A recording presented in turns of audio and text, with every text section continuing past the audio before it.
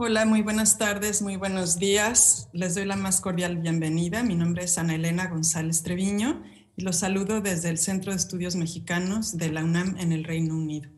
Me da mucho gusto recibirlos en esta, la segunda sesión de diálogos ante la COP26, diálogos de la UNAM ante la COP26 y el clima futuro. Em, estamos muy emocionados por lo que nos guarda el programa de hoy eh, y doy la más cordial bienvenida a María Emilia Beyer, quien nos va a hacer favor de presentar a nuestros invitados.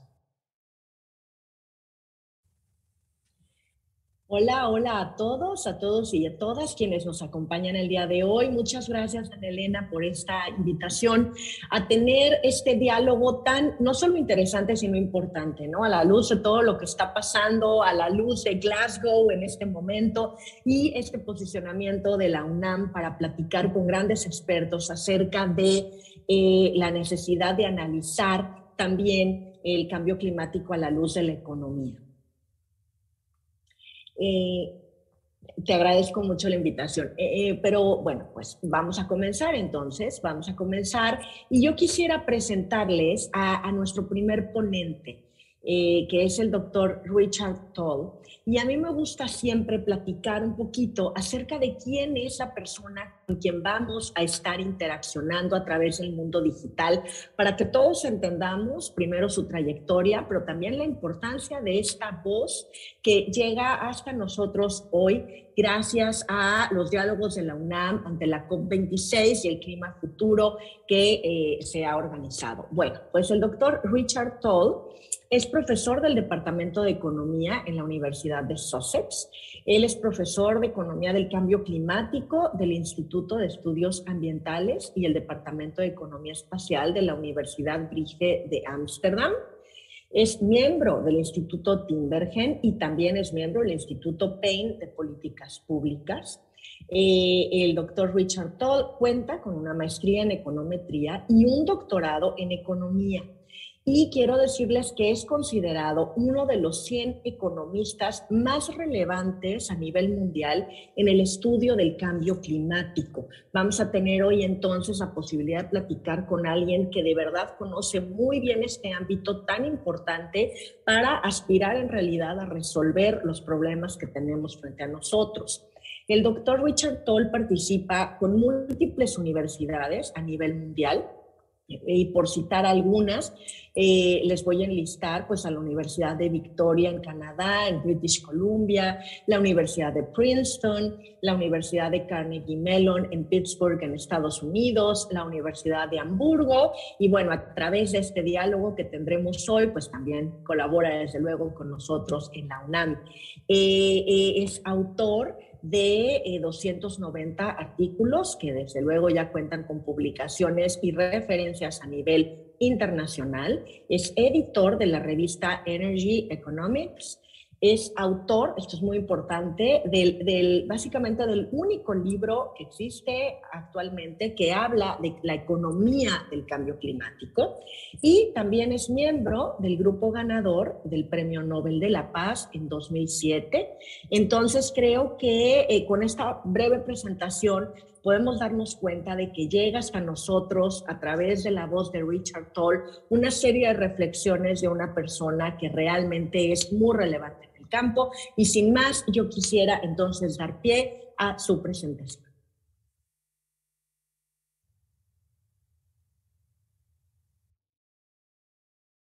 Today, I'm going to talk about the impact of climate and weather on the economy. I'm going to start with a controversial statement. Climate matters and climate matters to the economy. If not, we would worry less uh, or not at all about climate change. But obviously, a lot of people do. Now, saying that climate matters to the economy is not the same as climate determinism.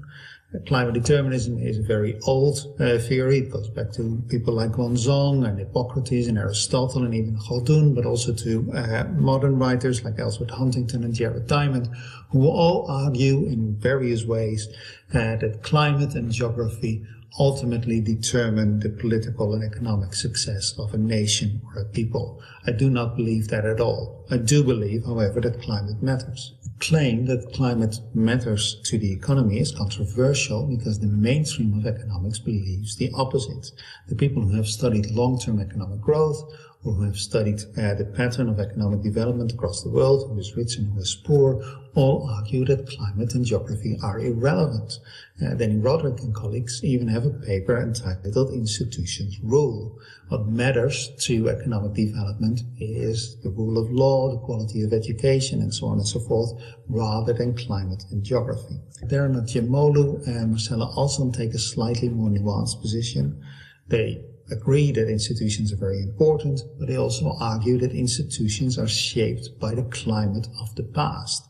However, they also find or argue that as soon as this shaping is complete, several centuries ago, climate is no longer important. Climate was important in the past, but it is no longer today. Now, if this were true, uh, then if we were interested in the economic impact of climate change, we actually do not need to worry in the very long run. May have some transition issues, but in the very long run, climate is irrelevant and therefore climate change is irrelevant. A somewhat uh, peculiar position according to most people who are not economists. It's also completely wrong because climate matters. Climate matters obviously for agriculture. It matters for energy demand. It matters for tourism, it matters for health, it matters for labor productivity. Um, and more recent papers show that climate indeed explains, in part, the income distribution within uh, countries, not just between countries, but also within countries. And within countries, of course, institutions are much more equal uh, than they are between countries. Yet these cross-sectional studies are problematic from an econometric perspective. And the main issue here is causality. Uh, climate changes only very slowly over time, and it hasn't changed much over the periods over which we have very good data. Uh, and of course, many other things that we know are important for economic development and economic growth um, have changed over that period as well, and sometimes much faster than climate has changed. Uh, climate varies uh, much more strongly over space, uh, but also there are many other things that we know are important for development change over space as well. So it is just very difficult statistically to pinpoint climate as a potential explanation for what we observe. To overcome this, people have turned to studying the impact of weather on uh, the economy. And by now there is a long list uh, of papers doing exactly uh, that. Uh, the good thing from a statistical perspective is that weather is random. And definitely if you look at the weather from the economy, it is basically uh, random. So you essentially have a natural uh, experiment.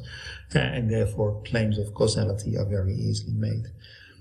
I think that should be taken with a grain of salt. By now, uh, we know that weather affects a large number uh, of economic and uh, large diversity of economic uh, activities, which of course all uh, affect one another. Uh, so I think we should be a bit careful uh, with our claims of identification there. but it has by now been very well documented that climate affects at least some economic activities directly.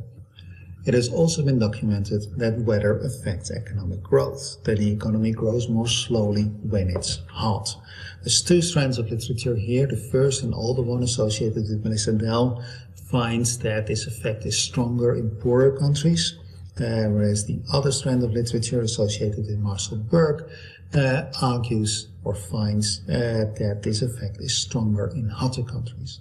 But in sample, it's actually very difficult to distinguish between these two types of models, and that is because most poor countries are hot and most hot countries are poor. So you really identify the effect of only a handful of uh, cold but poor countries like Mongolia or rich uh, but hot countries like uh, Qatar.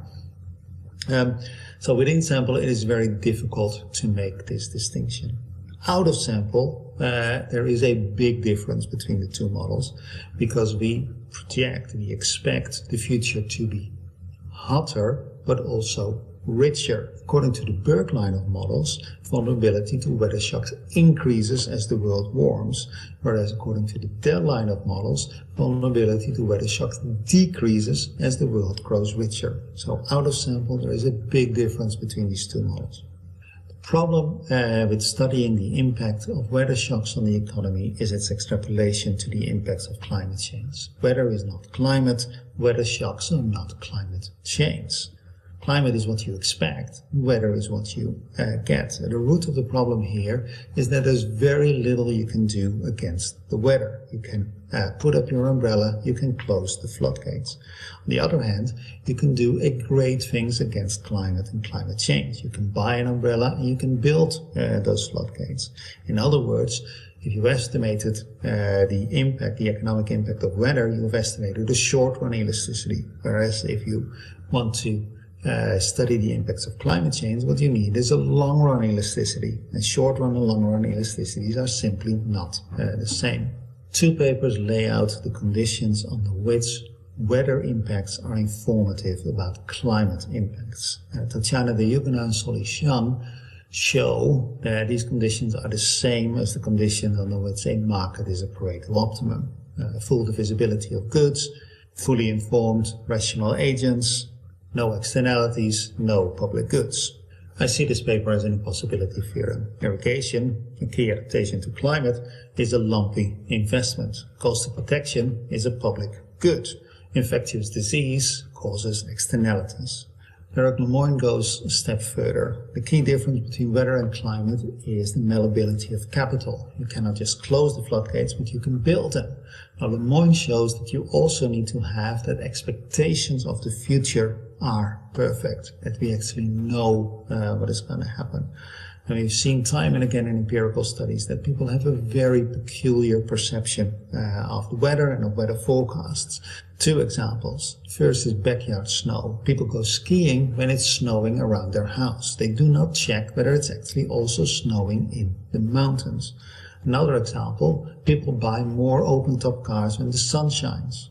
What matters is, of course, the expected weather for the duration over which you plan to own the car rather than the actual weather at the time you, that you buy the car. People have very irrational expectations of the weather. And for all those reasons, we learn very little about the impacts of climate change if we study the impacts of weather shocks on the economy. So what I'm going to do in this paper is simultaneously model the impacts of climate and weather on the economy. Conceptually, the paper is fairly straightforward.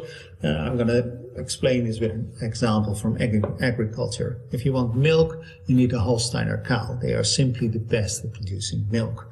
Uh, as the name suggests, Holsteiners are from Holstein, and that is the area of southern Denmark and northern Germany, and it's a rather cool climate. And if you take uh, a Holsteiner out of its native uh, climate and bring it uh, to, say, Thailand, uh, it's fairly unhappy, it's way too hot, uh, and it simply produces not enough milk. The picture that you're looking at is not from Thailand, uh, but from uh, South Carolina, where it's also pretty hot.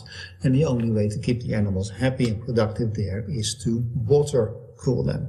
Uh, so production is good, but of course your costs uh, have gone up. Now, if you want to grow rice, and particularly uh, jasmine rice, that most people consider to be the uh, best rice in the world, uh, then Thailand is the place to be. It's a bad place for milk, uh, but it's a good place for rice. Uh, vice versa, if you want to grow rice in Denmark, well, good luck to you. It simply won't work. So climate affects what you can do in your economy, not just with agriculture, uh, but with many other things as well. Uh, weather, on the other hand, affects not so much what you could do in your economy, but how it works out in a particular year. Uh, you may have a drought and your crops may fail. That does not mean that it is a bad idea uh, to grow those crops in the first place, but in this year it turned out you had bad luck. Or you may have floods, block your roads, uh, wash away your bridges, and that is a temporary disruption of your uh, production uh, in uh, that particular year. So the natural way, at least to me, to think about uh, these things is to put climate in the frontier, in the production frontier, and put weather as a source of temporarily uh, inefficiency. And that then automatically leads us to a stochastic frontier analysis. So the model seeks to explain output per worker for some 160 countries for a period of 65 years. In the frontier of the model, I'm going to put capital per worker, essentially how much machinery and everything uh, there is available, and then the climate uh, variables, uh, and then I'm also going to explicitly model inefficiency and I'm going to put the weather in there, specifically uh, temperature and rainfall uh, anomalies. The method I'm going to use is stochastic uh, frontier analysis. One of the three conditions for an efficient market is production efficiency. This essentially means that producers cannot rearrange their inputs uh, to generate more output. Uh, and that then leads to a production frontier and you cannot do better uh, than this production frontier. Obviously, this frontier is imperfectly uh, observed. Uh, there's measurement error, and there's all sorts of idiosyncrasies in uh, your companies. Um, but if you try and estimate this thing, take it to the data, you will also notice that there's actually firms that are far away from the frontier, uh, which is theoretically impossible, but of course we never observe the economy in an equilibrium. We only take a snapshot of an economy in this equilibrium. So the assumption here is that those firms who are far away uh, from the frontier are either uh, on their uh, way to going bankrupt or perhaps they're on their way to being uh, taken over by another more efficient firm um, or perhaps uh, they are uh, about to reorganize themselves. Now, the way stochastic frontier analysis deals uh, with these two things is that it has a composite error term. There is a two-sided idiosyncratic error, that is essentially your imprecision in measuring uh, the frontier, and there is a one-sided error that essentially tells you how likely it is that a firm is away from the frontier, that it's an inframarginal uh, producer. And that looks uh, something as follows. And this is the specification that I'm going to estimate and show you the results of using uh, Bill Greene's true fixed effect model. It's essentially stochastic frontier analysis with panel data and fixed effects. Uh, and in the frontier, I'm going to try and explain the logarithm of per worker output. This is a function of the amount of machinery they have. They have then temperature and temperature squared, rainfall and rainfall squared, and their product. And this is uh, the 30 year average. So in the year 2014, it is uh, 1985 to 2014, the average temperature and rainfall over that period. And there's a trend and there's a country dummy. Uh, and then this is your standard uh, error term that you would see in a regression. Uh, so this is the measurement error or the idiosyncratic error. And then there's another error term uh, which captures inefficiency. And that is denoted u, and u is assumed to be distributed according to an exponential uh, distribution uh, with a parameter uh, lambda, and that lambda is a function of, again, a country dummy, and the absolute deviation of the actual temperature from its long run mean and the actual rainfall from its long run mean, and both are standardized by the standard deviation of temperature and uh, rainfall. So this is essentially uh, the standardized uh, temperature and rainfall uh, that goes in there and we take the absolute value of this. This is the model we're going to estimate.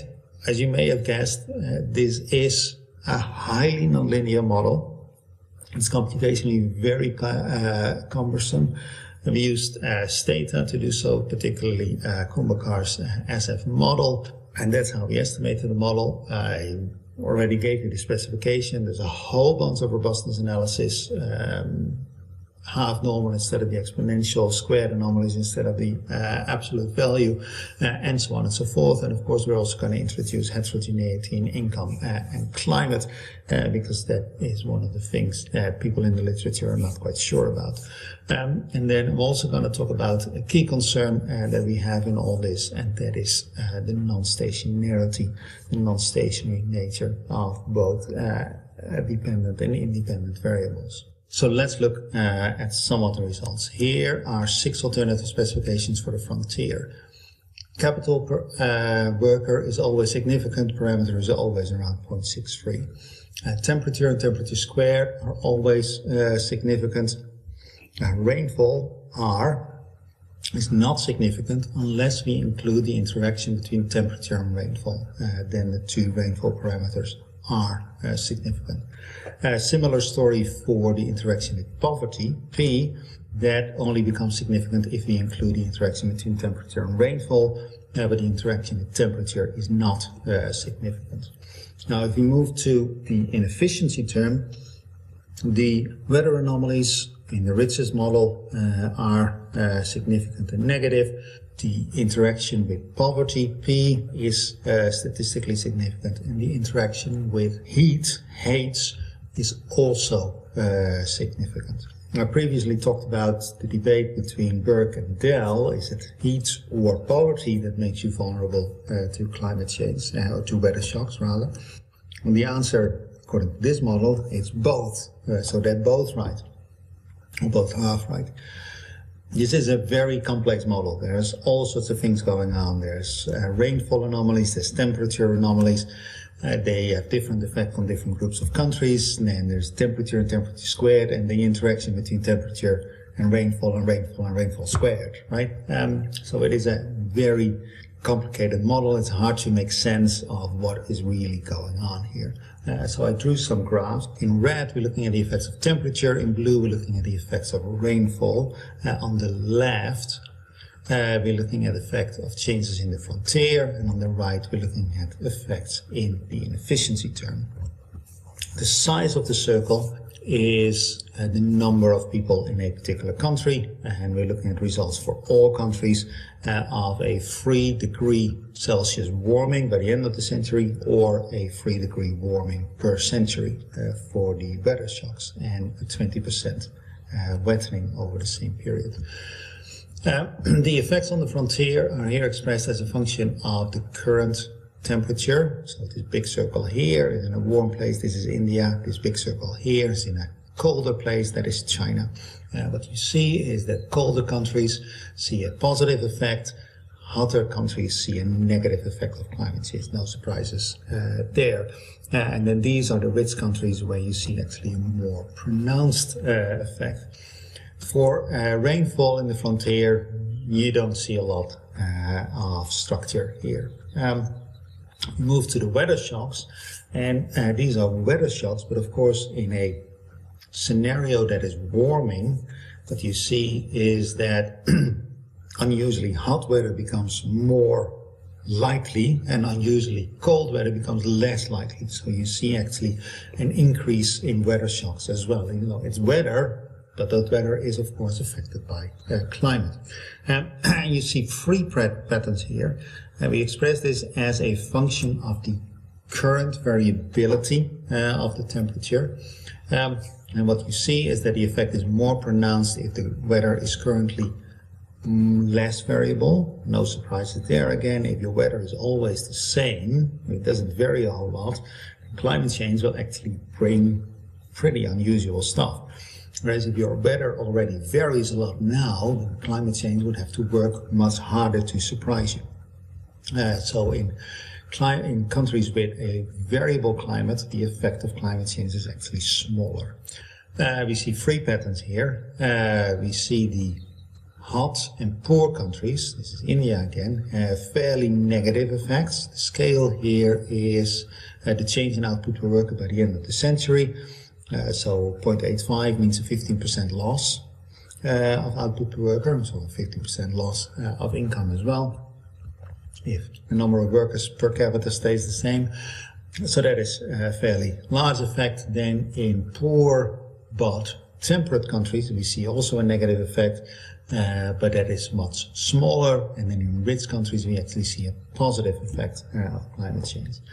Um, same uh, pattern pops up for rainfall, positive in uh, the rich ones, small but negative in poor but not so uh, hot places, and fairly negative in the hot uh, and poor places. So that is the pattern uh, that we see.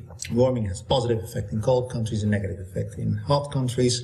Wetting has mostly a positive effect. The problem is too little, uh, too little water, not too much. The, the effect of weather shocks is negative in poor and cold countries, very negative in poor and hot countries, but it's positive in rich uh, countries, and that may be uh, puzzling.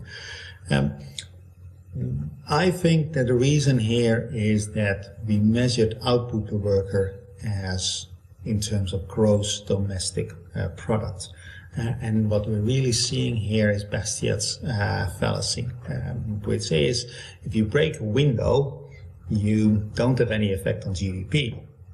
But if you repair the window, you increase GDP because that is uh, economic uh, activity. Of course, what you should do is use net domestic product rather than gross domestic product. But the problem with net domestic product is that you don't have a lot of data. Uh, so you can't do that. The reason that Bastiat's fallacy shows up in rich countries but not in poor countries has to do with the structure of government support and insurance. Uh, in rich countries, if a bad weather shock happens, if a natural disaster happens, then insurance starts to pay out almost immediately uh, government uh, starts releasing its reserves and start repairing things almost immediately. In poorer countries, this takes much longer. The repair effort is spread out over a much longer period, if it happens at all. Uh, so in rich countries, you would see this positive effect of the repair activities, uh, but in, rich, in poor countries, you would not. And that may explain this positive effect that we see of unusual weather in rich countries. Uh, I showed you the effect on every uh, single country. This is the effect of all countries put uh, together. Uh, now as a function of climate change. Um, frontier uh, is here. We go up to six degrees of warming. Um, unlikely, uh, but it may happen, right? And what we do in this particular graph is simply add up the dollar terms for every individual country. In the dotted line, we account for the fact that a dollar to a poor woman is not the same as a dollar to a rich woman. Um, and we apply so-called equity weights, and you see a slightly stronger effect, slightly stronger effect, and slightly more linear. Uh, things change very much if you look at uh, the inefficiency term. The inefficiency term, weather shocks were positive in poor countries, we call, and positive in rich countries dominate uh, the world economy, so we see a net positive effect for the world as a whole. Unless we equity weight the results, then you see a very substantial negative effect. So it's the poor countries that get clobbered here. So this is for temperature. Uh, here we're looking at rainfall. The frontier uh, is here again the equity weighted frontier, qualitatively the same. Uh, you see a fairly uh, large effect on the economy for uh, wetting and a fairly large and positive, fairly large and negative for a drying. Uh, for the inefficiency term, what really matters is how you deviate from your expectations rather than whether it's hot, uh, whether it's wet or dry. And so you see this kink here, uh, where actually it's symmetric around no chains. Um, for the scenario where we just add up dollars, you see positive effects everywhere. Again, this is dominated by what is going on in the rich countries, but if instead we equity weight the results, you see small and negative effects, whether it gets hotter, uh, whether it gets wetter, or whether it gets um, drier. So those are the global impacts. we made a lot of assumptions in the model uh, and we changed the model. We replaced the uh, absolute value of the uh, weather anomalies with their with its square. We used that looked at linear anomalies. We looked at asymmetric anomalies. The results are qualitatively uh, the same. Uh, we replaced exponential distribution with a half normal distribution. Doesn't affect the results, and that's for the inefficiency term. Uh, we put a weather in the frontier, did not really change the results, neither qualitatively nor quantitatively. Uh, the results do change quantitatively if we redefine who we classify as rich and poor no surprises there. We find very different uh, responses there. So if you put countries in another group uh, than, were, than they were originally, you would expect to find quantitative changes, but qualitatively the results uh, remain. So we're pretty happy uh, with this. In my introduction, I talked a lot about this institutional determinism that you see in modern uh, macroeconomists you could have expected and you should have expected that I actually address this particular issue.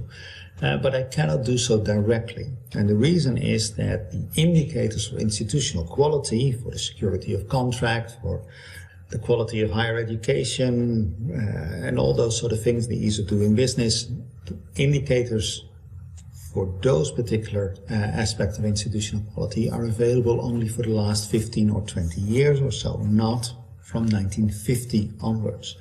Now, in recent times, those indicators actually correlate pretty well with an indicator for the structure of government, whether it's democratic or autocratic or somewhere in between. That indicator is polity 2 and the advantage of polity 2 is that it goes back to the year 1800. So we included that particular indicator and you see the results here. The results are not significant. It does not show up as important.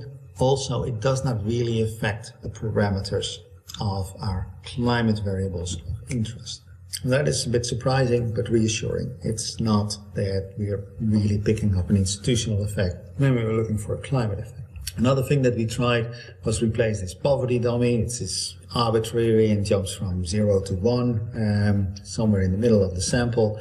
Uh, we replaced that with capital death um, as an indicator of the, the standard of living. Th that is significant, but it does again not affect our the impact uh, the coefficients on our climate parameters. So this is all uh, reassuring. The thing that we worry about and worried about for a long time is non-stationarity.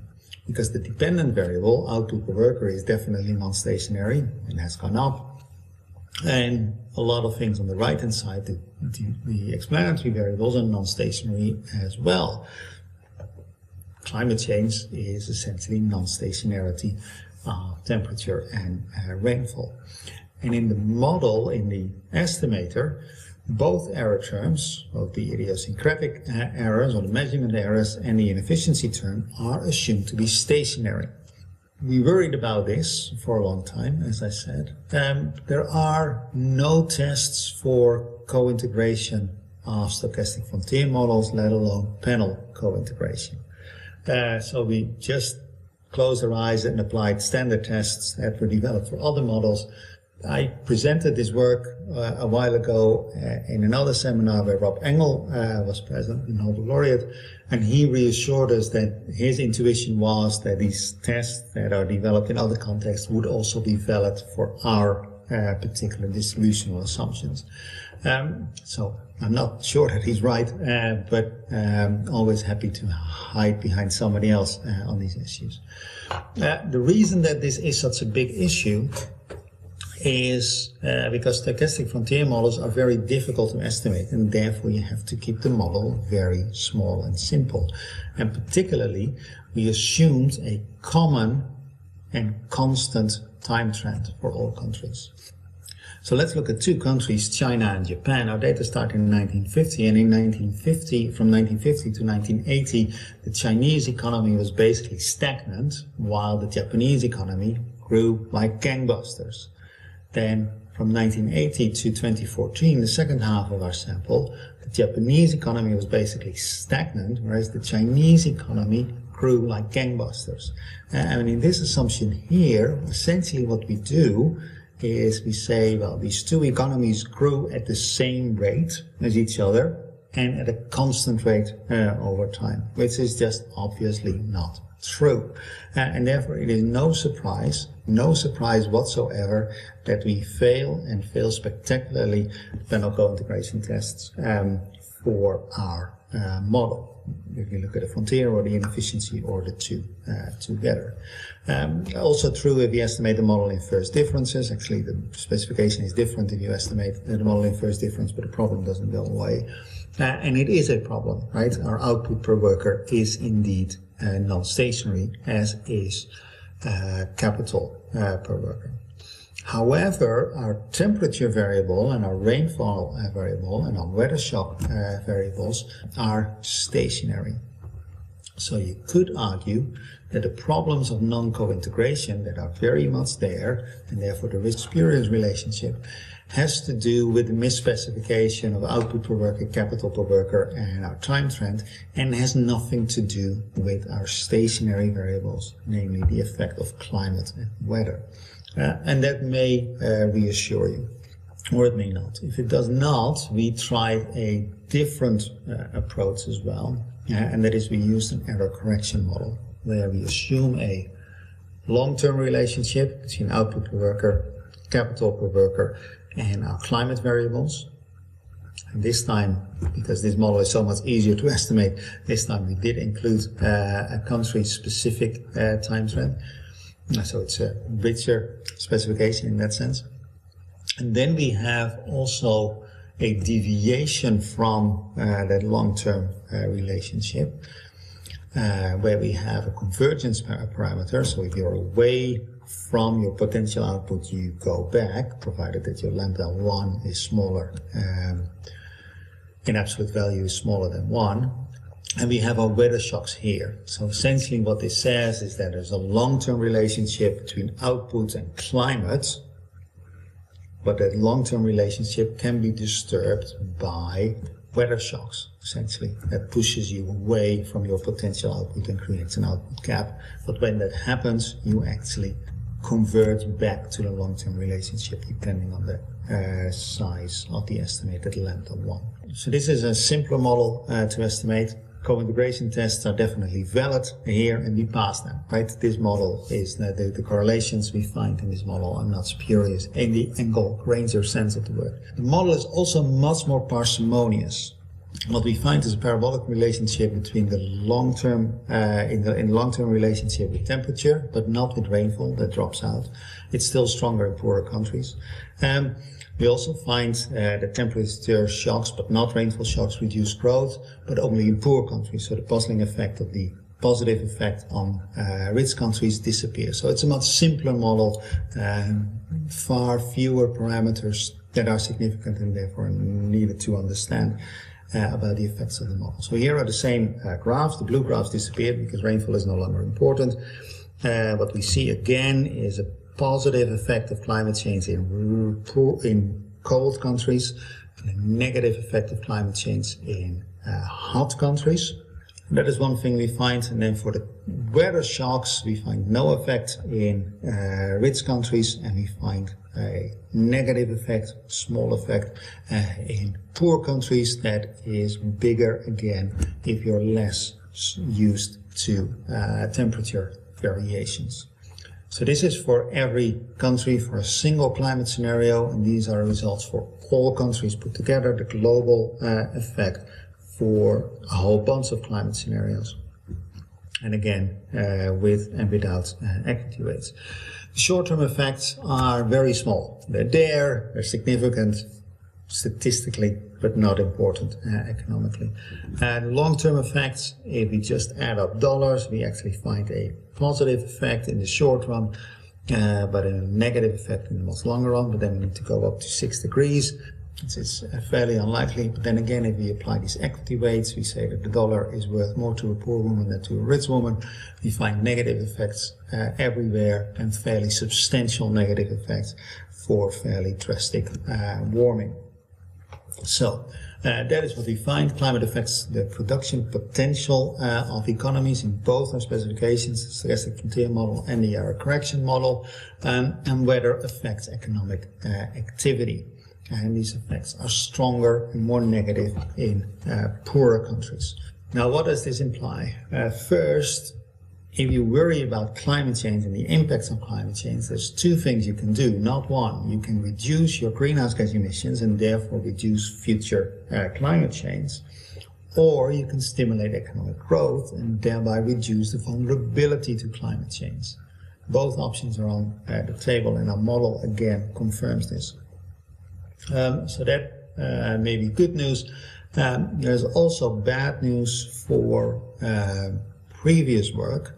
Essentially what a stochastic frontier model does is it introduces heteroscedasticity. And in our specification, heteroscedasticity depends on the weather and therefore is related to climate. And that means that if you used a cross-sectional or a short panel to look at the impact of climate on economic activity or um, economic output or something like that, then you should have corrected for weather-induced heteroscedasticity.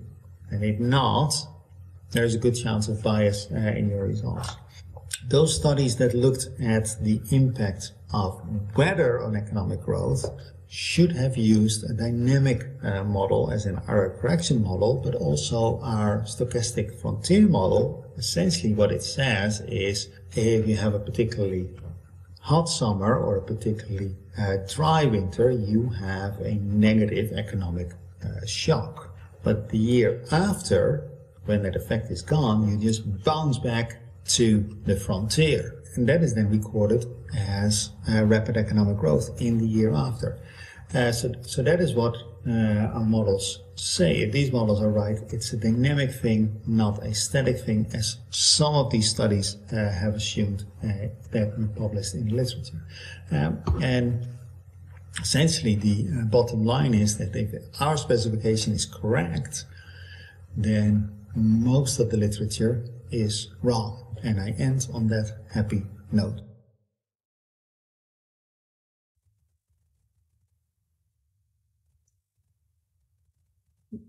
Muchas gracias.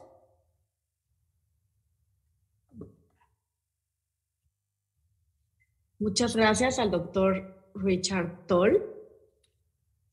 Gracias por estas palabras que nos ha, que nos ha compartido. Certainly, Richard, you shared with us uh, food for thought, many good examples and reflections.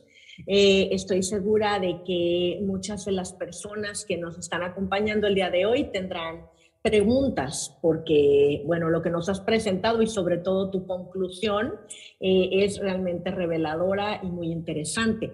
Ahora voy a ceder la palabra a nuestro próximo invitado, que es Francisco Estrada Porrúa. Y también les voy a platicar un poquito acerca de, de él. Eh, Francisco es licenciado en Economía por la Universidad Iberoamericana, acá en México. Es maestro en Administración de Riesgos por el ITAM es doctor en Economía Ambiental por la Universidad Libre de Ámsterdam. Es investigador titular C que trabaja en el Centro de Ciencias de la Atmósfera de la Universidad Nacional Autónoma de México y es un investigador nacional nivel 2 eh, también en nuestro país. Es coordinador del programa de investigación en cambio climático de la UNAM eh, su investigación se centra en las causas y las consecuencias económicas del cambio climático y para hacer esto Francisco combina pues, una serie de disciplinas y de conocimientos provenientes de, la, de las ciencias de la atmósfera, de la modelación estadística y desde luego de la economía. Eh, es autor de más de 50 publicaciones en revistas internacionales indexadas eh, y les voy a dar algunos ejemplos de donde pueden encontrar el trabajo del doctor Francisco Estrada Porrúa, por ejemplo, en Nature Geoscience, en Nature Climate uh, Change, en Scientific Reports y en el Journal of Econometrics. Eh, es autor, colaborador y revisor experto del cuarto y quinto reporte de evaluación del panel intergubernamental de cambio climático, el IPCC, y es editor adjunto de la revista Atmósfera, que eh, es publicada por el Centro de Ciencias de la Atmósfera de la UNAM. Eh, Francisco, adelante, te cedo el micrófono. Muchísimas gracias, María Emilia. Nada más una aclaración, es titular. gracias por la promoción. no, ya estamos. Yo, yo la tomo, yo la tomo. Eso. gracias. Gracias. Adelante. Gracias. Eh, ya, supongo que ya pueden ver la pantalla, ¿verdad? Sí, sí la vemos. Muchas gracias. Bueno, este, aprovechando la, magnífica presentación de Richard este, y tan completa sobre la economía del cambio climático, yo me doy el, digamos, el lujo de meterme más a la COP y qué es lo que está pasando y qué es lo que vemos para México eh, en cuanto a riesgos, impactos y oportunidades, ¿no? ¿Qué representa esta COP? Eh, bueno, eh, si nos vamos un poco a la historia, eh, lo que podremos esperar de esta COP no es demasiado, ¿no? Hemos tenido 26 con estas 26 conferencias de las partes y no hemos logrado básicamente nada, ¿no? Como dicen este, del lado izquierdo de la pantalla, puro hot air, ¿no? Mucha promesa y a la hora de la hora las reducciones de CO2 particularmente pues no han, no han llegado. si uno se pone a ver esta gráfica de aquí, de la NOAA, es eh, cómo ha cambiado el, forzamiento radiativo desde 1980, tomando como referencia el año 1990. ¿Por qué 1990? Más o menos por ahí, ahí perdón, más o menos por ahí empezaron las negociaciones internacionales. Tenemos el, el, protocolo de Kioto, tenemos por aquí en 1995 la primera COP. Y lo que vemos es que el desbalance, el, desbalance que hemos generado eh, en, en, la parte de energía de la Tierra, la, la, afectación que hemos tenido sobre el balance de energía de la Tierra, ha aumentado desde 1990 a la fecha en alrededor de un 60%. ¿no? Este, no estamos yendo en la dirección correcta. ¿no? Y en la parte de abajo ustedes pueden ver pues, qué es lo que nos está llevando eh, en las negociaciones actuales, hasta dónde nos llevan. ¿no? Nos llevan eh, más o menos a estar eh, para finales de siglo, como si no hay un aumento en la ambición de las reducciones que, se, que los países plantean, pues tenemos alrededor de 3 grados hasta 4 grados ¿no? a finales de este siglo. Si nos ponemos más las pilas en cuestiones de mitigación, pues podemos llegar a lo mejor a 2.4 o 2 grados. Eh, esto no quiere decir que no se haya podido lograr cambiar la temperatura o la, la tendencia de la temperatura global en la historia con acciones que nosotros hayamos tomado, ¿no? Eh, les voy a platicar de unas cuantas. Eh, por ejemplo, la negociación internacional más importante en términos de clima no ha sido ninguna de las COPs, no fue el protocolo de Kioto, no ha sido el Acuerdo de París, fue simplemente el protocolo de Montreal, que fue, digamos, por chiripa que esto ocurre eh, en el clima, porque el objetivo del protocolo de Montreal no era, este, no era afectar el clima, sino reducir el agujero en la capa de ozono pero fue muy eficiente para bajar las temperaturas, para bajar la tasa de, calentamiento del planeta. Aquí lo podemos ver, tenemos este, los CFCs, estas sustancias que prohibía el protocolo de Montreal y que eh, poco a poco iba, iba sacando eh, de su uso. Pues tenemos, por ejemplo, el efecto que tiene sobre el balance de energía de la Tierra, el forzamiento radiativo, pues bueno, era cero hasta que lo inventamos después de la Segunda Guerra Mundial. Después de eso, eh, el efecto, digamos, fue, creció muy rápido y a la implementación del protocolo de Montreal vemos que esto se estabilizó, por ejemplo, para el CFC 12 y para el CFC 11. De hecho, el forzamiento se redujo. Es decir, en vez de seguirnos por una trayectoria donde estos, este, este forzamiento seguía aumentando y nos iba a cambiar más el clima, logramos pararlo y en un caso revertirlo. Eh, también eso coincidió con otra acción humana muy importante, que es pues la producción de alimentos en, en Asia, resulta que cambian la manera de producir, cambian los fertilizantes, hacen un uso más eficiente del agua y esto nos lleva a una pausa en el metano, ¿no? Eh, venía, por ejemplo, ustedes pueden ver aquí el, el, efecto del forzamiento radiativo por metano, va aumentando, digamos, una tasa moderada, eh, ahí a partir de 1950, 1960, después de la Segunda Guerra Mundial, pues aumenta la población, aumenta la demanda por ciertos alimentos, eh, la cantidad de alimentos en general, y tenemos un aumento en el metano. Y aquí pasa que hay estos cambios que les comentaba en, las prácticas agrícolas en Asia. Eh, esto, estas prácticas agrícolas resulta que le dieron en la torre a un microbio que produce metano. Entonces, la explicación más clara de por qué tenemos este bajón aquí en la tendencia de aumento del metano. Y tenemos otra cosa, este, también hemos visto eh, una industrialización muy importante eh, desde los 90 para acá, digamos un poquito antes de los 90, de China y la India. Y la industrialización nos pone aerosoles atmosféricos en la atmósfera, ¿no? nos pone aerosoles en la atmósfera y eh, eso refleja la energía que viene del sol y tiene un efecto sobre el forzamiento radiativo, lo reduce. Aquí podemos ver otra vez el mismo comportamiento, ¿no? Eh, había aerosoles, después de la Segunda Guerra Mundial, con el desarrollo industrial del planeta, tenemos más aerosoles, el efecto negativo en el forzamiento radiativo se hace más pronunciado y después con este desarrollo de China y la India tenemos todavía más, un efecto más negativo. Estas tres cosas son completamente antropogénicas, son cosas que hemos hecho nosotros, algunas por acuerdos y, eh, internacionales, y esto logró, logró cambiar la tendencia del aumento de temperatura, logró reducirla por un periodo por lo menos. Y no es lo único que hemos hecho, también lo hemos hecho con cosas que no podemos decir que son intencionales ni recomendables, como tener grandes depresiones económicas y las dos guerras mundiales ocurriendo básicamente en un periodo de 30 años. Y esto lo que nos abre es, por un lado, nos da cuenta de qué tan cercana es realmente la relación entre la actividad humana y las temperaturas. No solo es que le demos la forma general al aumento en la temperatura, sino que podemos con eventos particulares reducir o aumentar eh, la tasa de calentamiento. Y eso nos abre la puerta a que podemos tener esperanza en, en, cuanto a que las negociaciones internacionales si funcionan, podemos ver resultados, digamos, en el corto plazo, pero también nos abre una puerta para el problema, ¿no? ¿Qué tal si no? ¿Qué tal si nos vamos por otro lado y vamos a tener un calentamiento mucho mayor?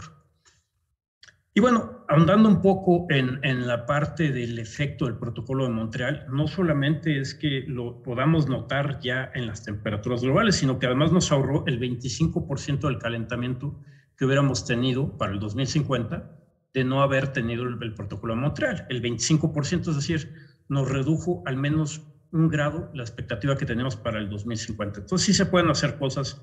Eh, claro, es más fácil ponerse de acuerdo en qué hacemos con los FC, sobre todo si tienes una alternativa económicamente viable eh, y fácil, que ponernos de acuerdo en cómo descarbonizamos la economía, ¿no? que tiene esta, esta relación tan estrecha.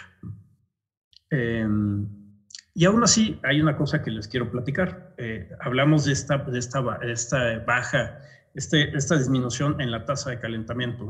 Una cosa buena que eh, tuvimos por el protocolo de Montreal. Bueno, el sistema clima es muy complicado, como ya ustedes sabrán, y eh, hasta estos efectos, hasta esta reducción, que se llamó la pausa en el calentamiento, que duró, digamos, de finales de los 90 pues, hasta mediados de la década pasada, lo que generó es distintos patrones de calentamiento en el planeta. En el mapa este ustedes ven cómo ha sido el calentamiento, esta es la historia del calentamiento de los últimos ciento y tantos años, 150 años.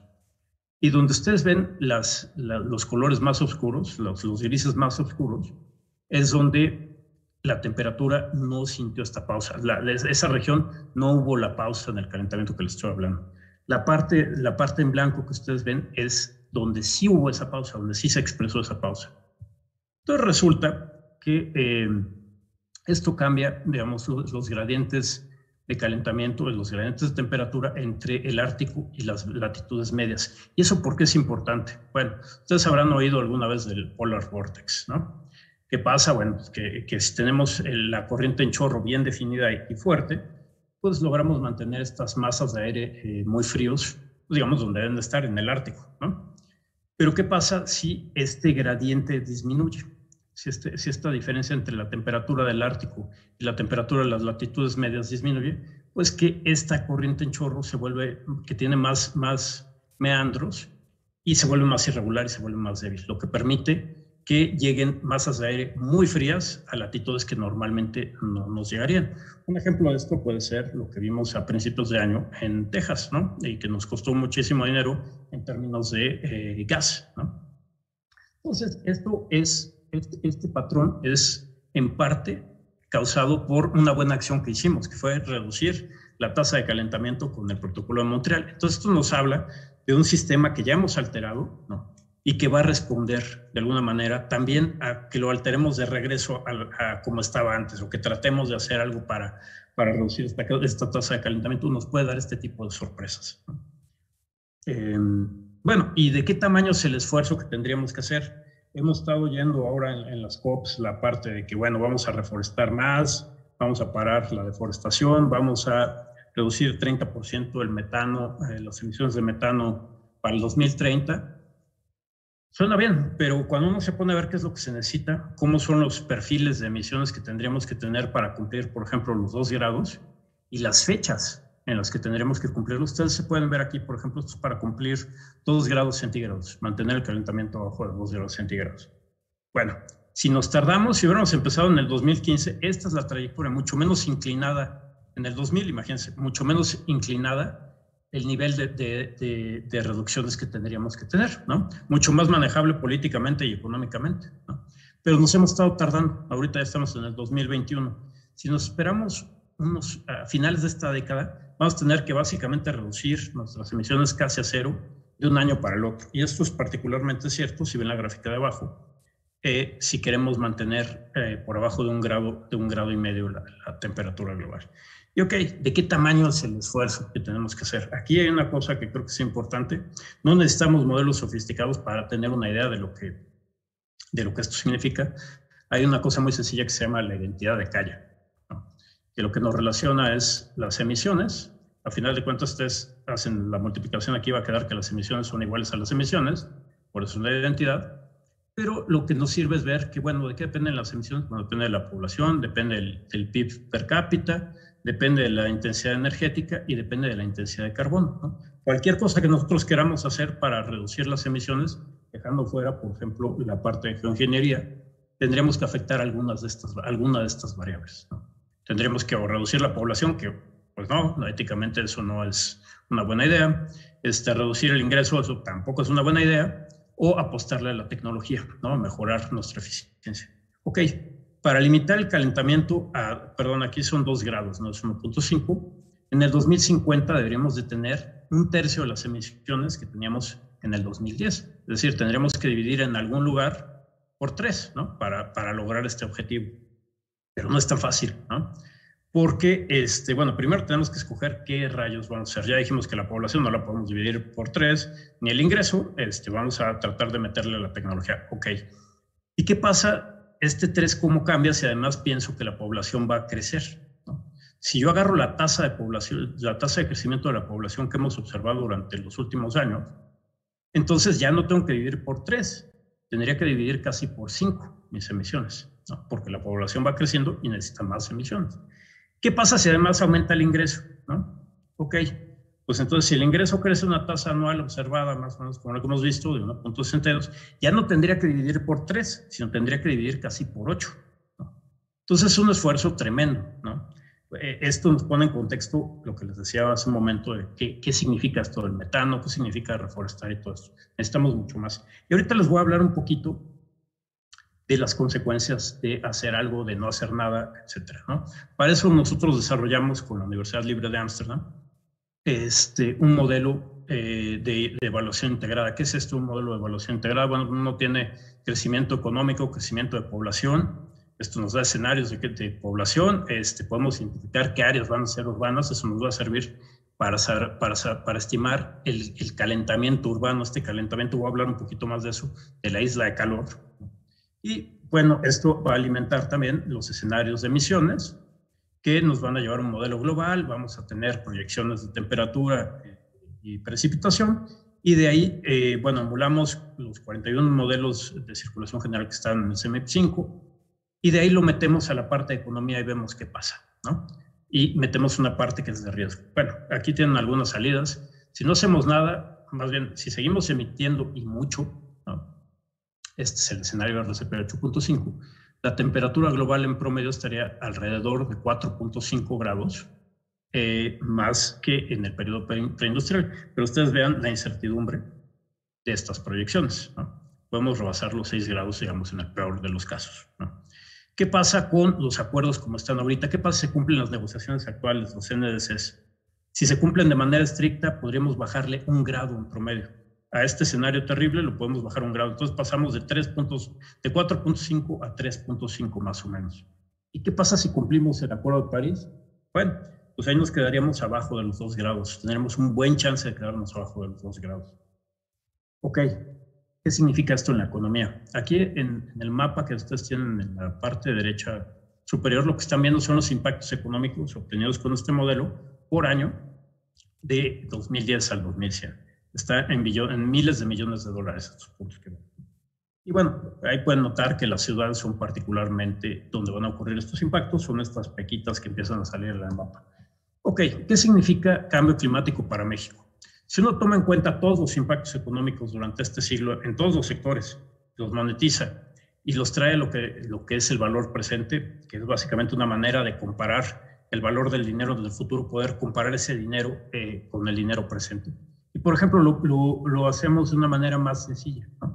Ese monto, ese valor presente, eh, lo comparamos con el PIB, con el PIB actual. ¿Cuánto, ¿A cuánto equivale el cambio climático en términos de PIB para México? ¿Cuánto estaría perdiendo?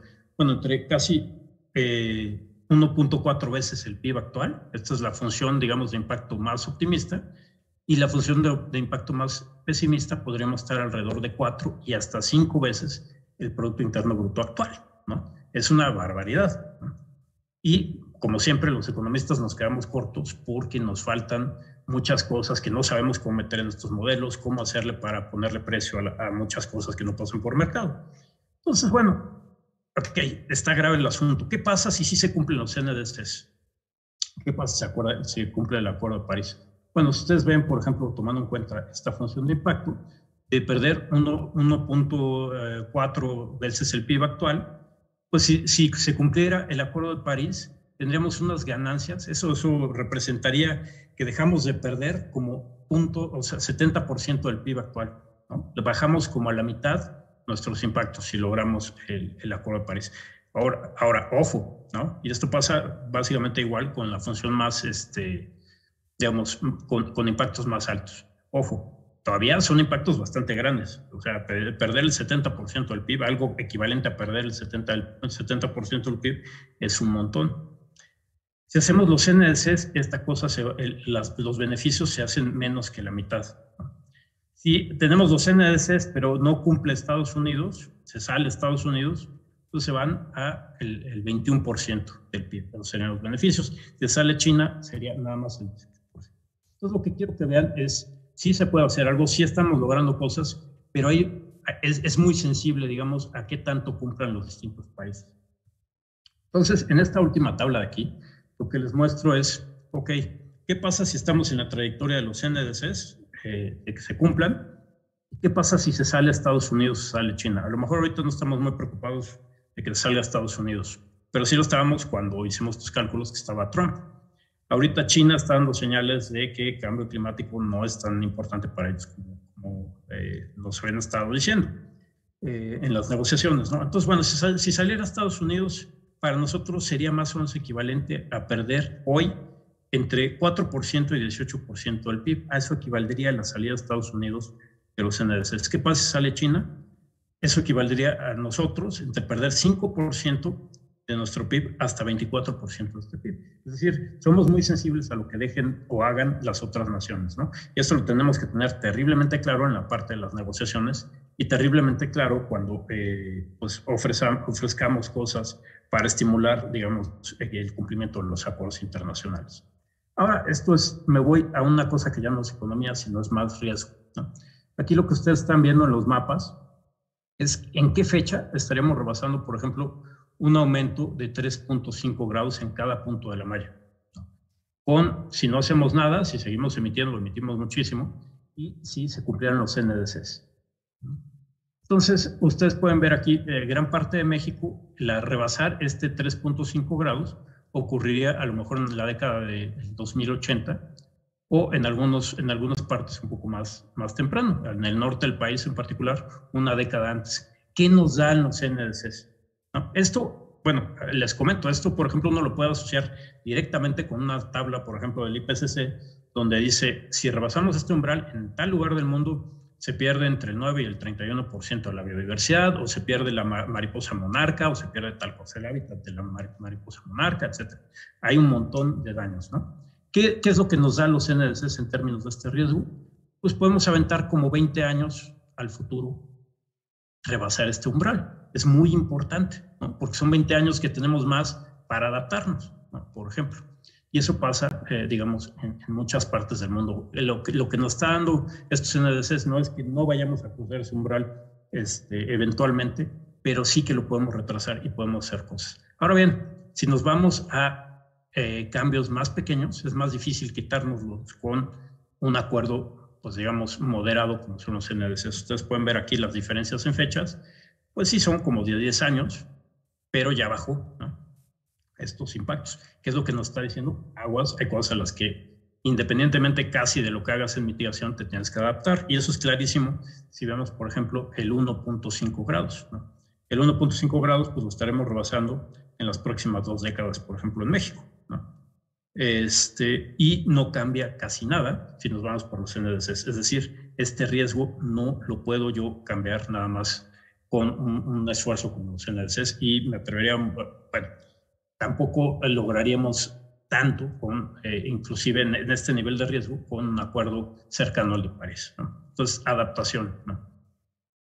Y ahora, bueno, les voy a presentar otra cosa para que vean los riesgos. Aquí son índices multivariados de riesgo. ¿Qué es lo que estamos combinando aquí? El riesgo de rebasar 2.5 grados de calentamiento, que la precipitación se reduzca al menos 10%, que se pierda al menos 5% del PIB, o que se pierda y que se pierda este, al menos mil millones de dólares. ¿no? Lo que ven en negro es que el, riesgo es muy pequeño y lo que ven en, pues digamos, como ya café muy claro, es que el riesgo es muy alto. Esto es para, si no hacemos nada, estos son los NDCs y esto es el acuerdo de, de, de, París si se cumpliera.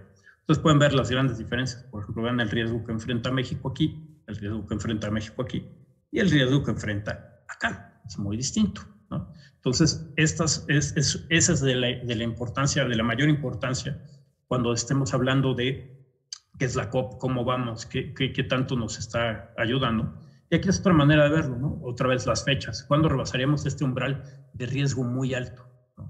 Si no hacemos nada, en el escenario RCP 8.5, ustedes pueden ver que estamos en este rango de fechas. ¿Qué pasa si nos vamos por los NDCs?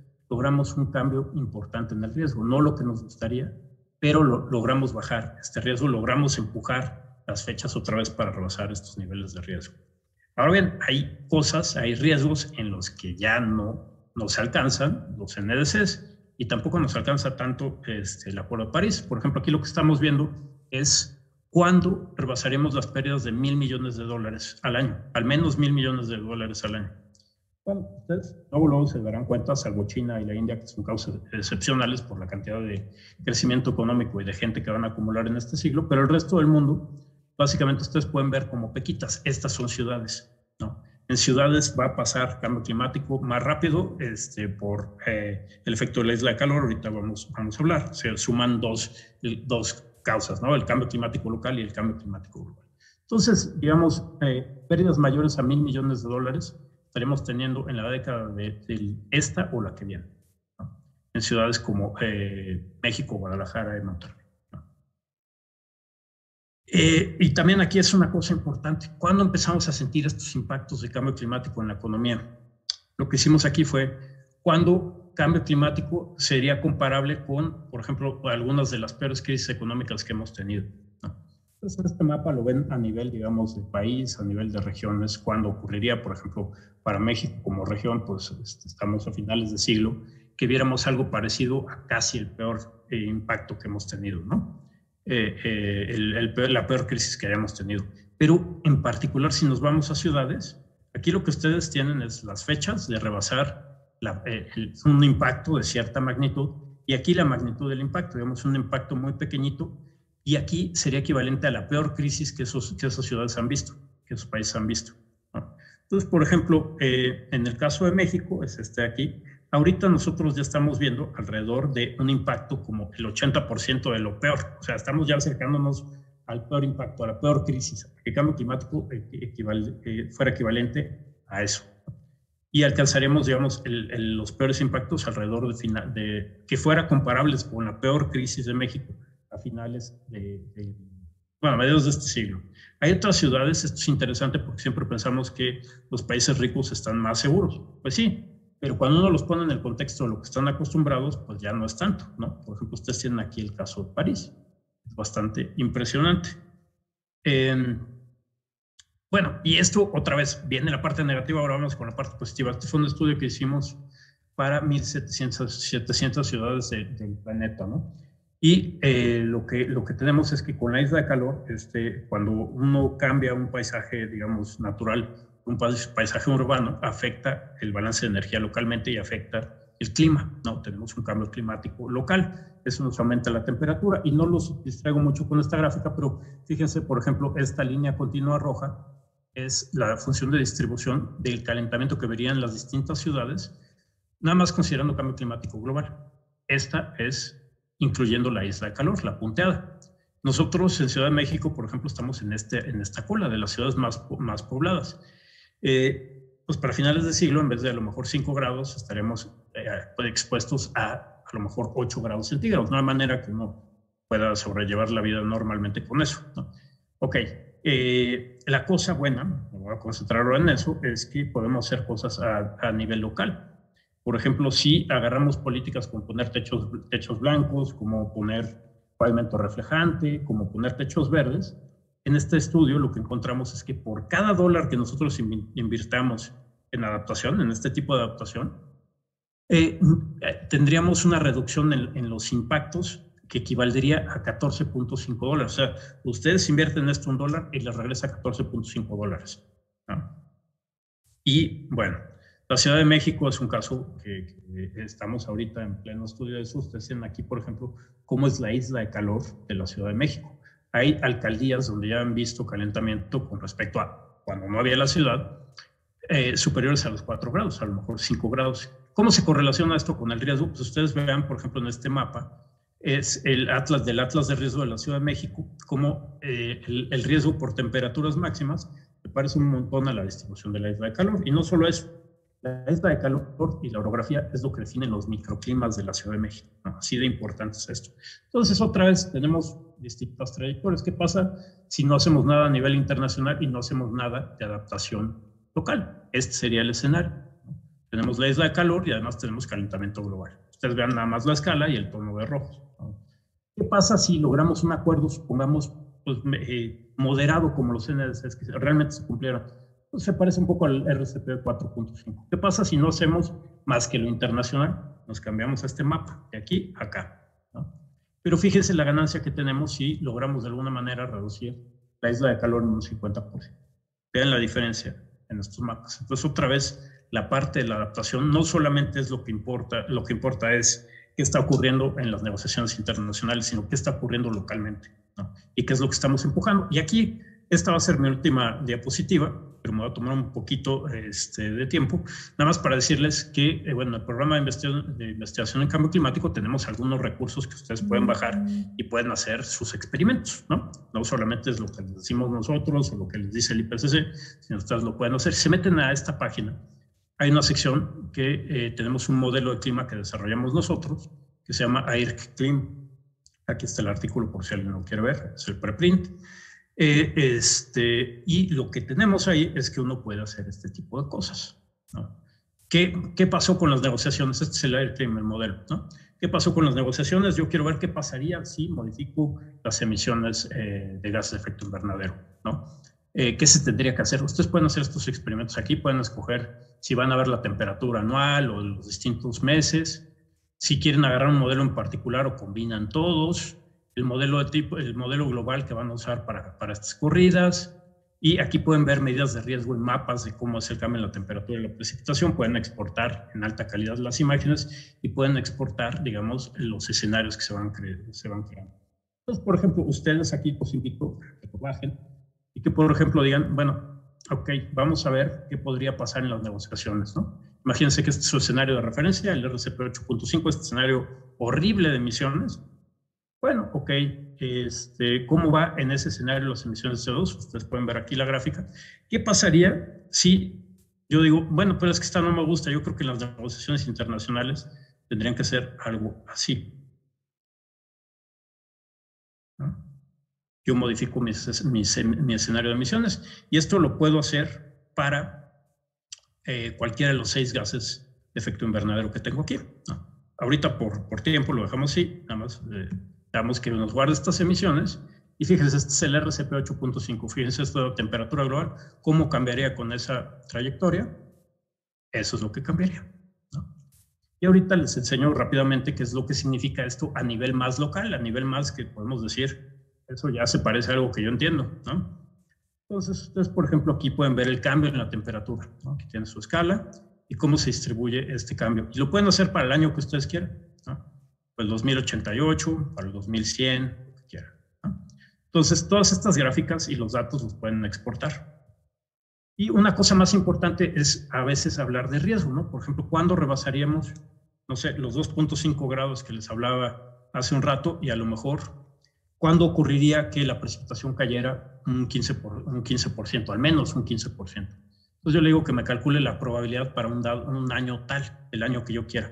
¿Cuál es la probabilidad, por ejemplo, que rebase 2.5 grados centígrados? Ustedes lo pueden ver, de cero no ocurre, a 100 ocurre, para cualquier año, ¿no? pueden ir al 2100, ¿no? Se pueden ir, por ejemplo, si les interesa un plazo más corto, por ejemplo, el 2035, pueden ustedes ir viendo qué lugares son los que tienen mayor riesgo.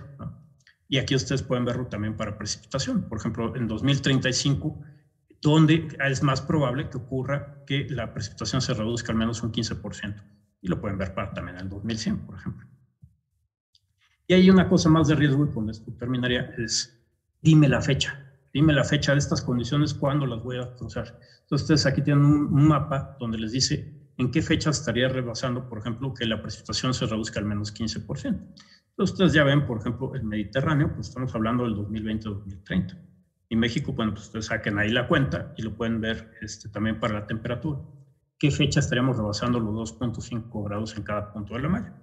Bueno, pues ustedes vean el color 2040, 2050, por ahí estaríamos, por ejemplo, en México.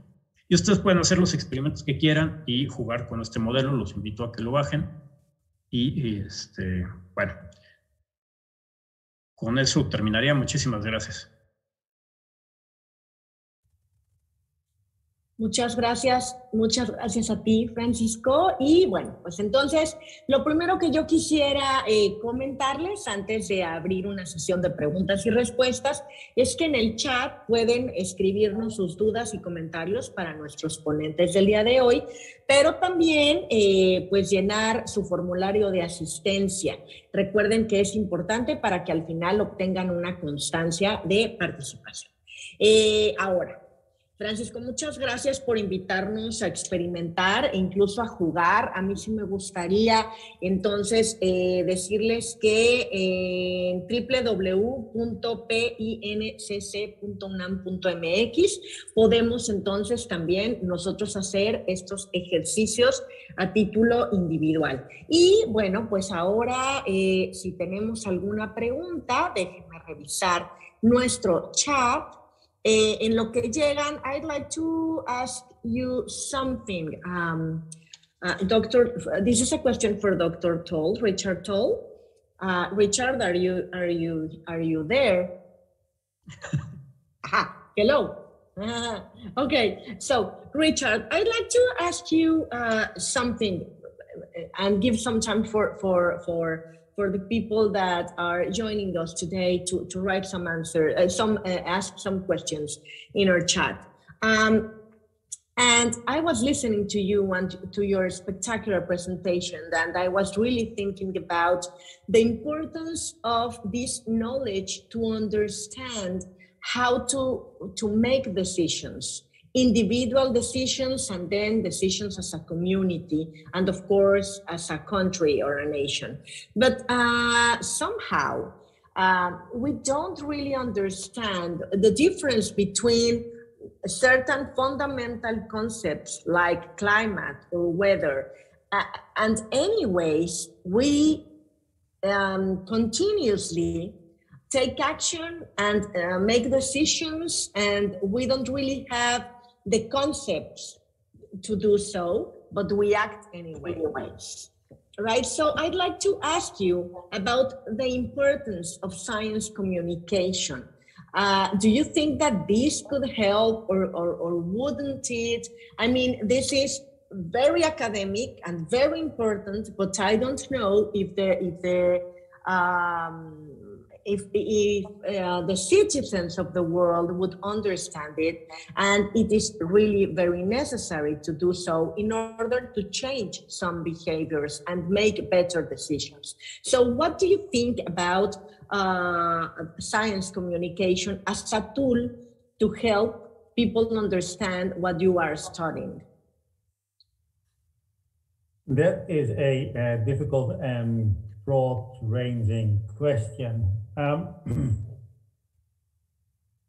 you, you are right that there's a lot of confusion between weather and climate. Um, I, am not so worried about that. Um, what matter, I, I, mean, most people would sort of, at a deeper level, understand that what is stochastic and what is structural. Um, so I, I wouldn't worry so much about people not fully understanding the difficulties and the terms uh, and the jargon there. Um, my, my main problem um, with uh, science communication, particularly in the climate field, is that it seems to be so very uh, ineffective. Uh, and we've done this uh, since 1985 or so, maybe a little bit earlier, maybe 1980. Uh, and we are not particularly good at it. It's not that we don't do uh, enough of it, but I don't think we do it in any way right. Um, and, and one of the assumptions in the uh, science communication literature seems to be that we need to do more of it and we need to explain things better. I don't think that is true at all, or that the, the, the people are not capable of understanding complex thoughts. Um, now, I understand that I am talking to a bunch of uh, Mexicans and I know very little about Mexico. Uh, but if you uh, look at American television or uh, at English television, uh, then it's full of programs that, and I presume that's true in Mexico as well, where people just talk and talk and talk about sports, right? Uh, and going into extreme detail. And lots of people watch this, right? Even though objectively it's very boring, it's very technical. Um, if you look at English television, then you have the same with cooking, right? There's just endless cooking shows explaining in detail how to make certain things in great technical detail. Um, same is true for gardening uh, in the UK. Um, so it is not so much that the public doesn't isn't capable of absorbing technical detail. They clearly are if it is for something that interests them uh, it is just that we don't make it interesting. Mm. We are afraid, I think, of making science interesting, and that is why people don't watch. It's not that they're not capable of absorbing knowledge uh, if they make an effort. Um, and and it, it is very clearly, we're very clearly failing there, I think, in the entertainment part rather than in the, um, in, in, in, the volume uh, of uh, science communication. And we, we have very clearly failed. As I said, we've been doing this for 40 years now.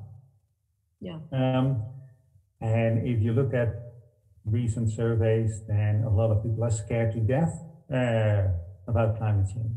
And yes, climate change is a problem and it's something we should worry about, uh, but it should not really scare you. You should not really stay up at, uh, stay up at night because it, it isn't so scary. And a, very recent example uh, is in Time Out magazine. This is very popular uh, in, uh, in, in England as well as in the United States. Um, and there they had this scenario where they showed these maps where a lot of cities were underwater by 2030 and that's just not going to happen, right? They have Amsterdam on the water uh, by 2030 because, yes, Amsterdam is under the sea level, under the mean level of the sea already, but we also have dikes, and there's no reason to assume that those dikes will disappear uh, between now and 2030 or will fail between now uh, and 2030. So there, there's obviously something very wrong in the way we communicate climate science. There is on the on the one hand, there's a lot of people who are scared to death and on the other hand, in some countries, there's a very significant majority who still are not convinced uh, that CO2 is a greenhouse gas. Just do the uh, experiments in your kitchen uh, to show that it is. Um, so it's clearly that we're doing something wrong, but I think the main problem is that we don't dare to entertain for fear that we would not be taken seriously. Mm, I see. Yes. Quite interesting. Thank you. Thank you, Dr. Tol. So ahora quisiera, eh, Francisco, hacerte una pregunta de Norma Olvera. Ella eh, cuestiona si teniendo en cuenta que para el año 2050 se estima que más del 60% de la población mundial va a vivir en grandes ciudades y lógicamente esto pues podría disminuir o se anticipa que va a disminuir el número de personas dedicadas a la producción de alimentos en los países en desarrollo, eh, te pregunta qué efectos tendrá eh, esto junto con el cambio climático en la economía mundial. Y si, bueno, y un poco si al vislumbrar esta situación, pues hay algunas propuestas que a lo mejor hagan apremiante el hecho de que se apoyen pues todos estos mecanismos y estas eh, charlas que se están dando en la COP26.